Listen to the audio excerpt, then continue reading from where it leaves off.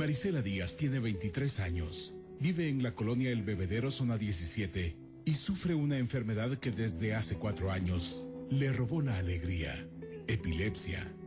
Que ella se enfermó, todo cambió para nosotros, tanto como para, para mí y para mis hijos, porque ya solo la atención es para ella y me ha costado mucho salir adelante.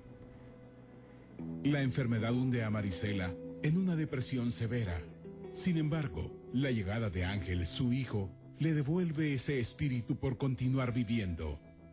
Mi vida antes de, enfermarme era, pues era una chava divertida, salía a jugar y todo, pero a raíz de esa enfermedad toda mi vida cambió.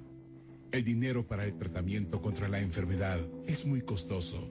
Claudia, tía de Marisela, la convenció de asistir a la Secretaría de Obras Sociales de la esposa del presidente para solicitar apoyo para combatir su enfermedad. Me hizo una carta para que llevara a su SEP y que tenía que llevar toda mi papelería.